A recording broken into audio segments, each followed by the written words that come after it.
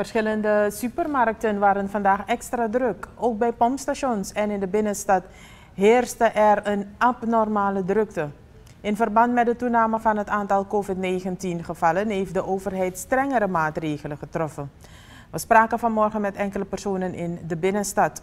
Opmerkelijk was dat de sociale afstand niet overal in acht werd genomen.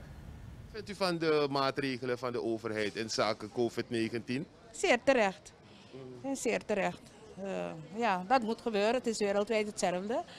Wereldwijd is alles hetzelfde. Ze moeten maar uh, aanpassen aan de omstandigheden en gehoorzaam zijn aan de autoriteiten. Uh, de zaak is opgevoerd. Wij moeten dan ook.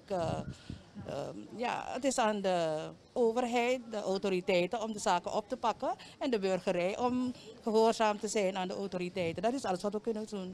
Over het algemeen begrijpt de burgerij wel dat het noodzakelijk was om de maatregelen te verscherpen.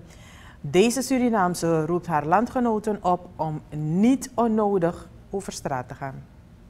Het is voor ons eigen belang, voor onze eigen veiligheid. Als we kijken wat er gebeurt in Brazilië en andere landen, is ernstig. We hebben een te kleine gemeenschap, een gemeenschap Chintumsi.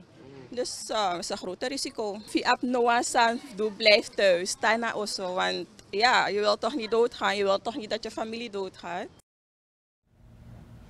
Vanwege de maatregelen die de overheid heeft getroffen naar aanleiding van de COVID-19-situatie in ons land, was het vandaag extra druk in verschillende handelszaken en bij pompstations.